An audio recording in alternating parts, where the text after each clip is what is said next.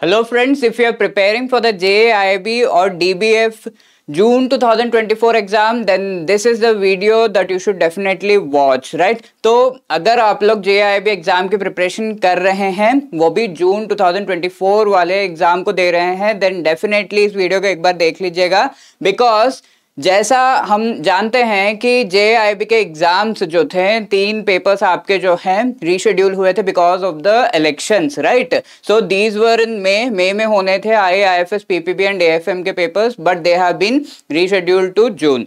now in a few centers of Kerala, people who are giving this exam in the centers of Kerala, the papers have been two of the papers have been rescheduled once again because of certain technical reasons okay please keep this in mind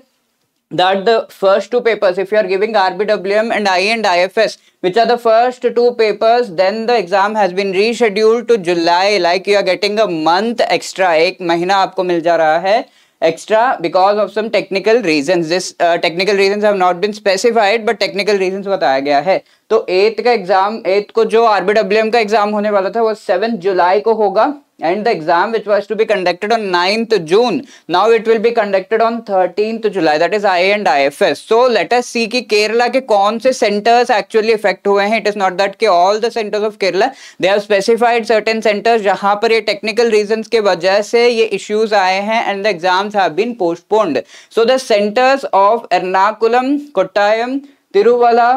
Kannur Kozhikode Thiruvananthapuram Kollam Palakkad and Thrissur. These are the centers of Kerala which have been affected and the exam in only these centers has been rescheduled from 8th and 9th June to 7th and 13th July. Okay so please remember if you are giving your exam अगर आप केरला में exam दे रहे हैं exam centre आपका केरला है if you are giving the exam in Kerala and if you are giving the exam in any of these centres ठीक है once again let us read the names of the centres Ernakulam Kottayam Thiruvalla Kannur Kozhikode Thiruvananthapuram Kollam Palakkad and Thrissur then you should definitely have this in your mind कि आपके पहले दो papers first two papers have been reschedule that is RBW and RBW and I and I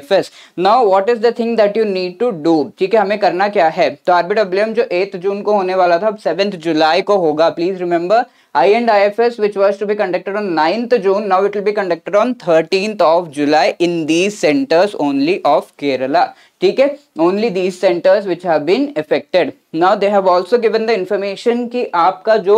admit letter है admit card है, वो revised होगा. In these centres who all have given these centres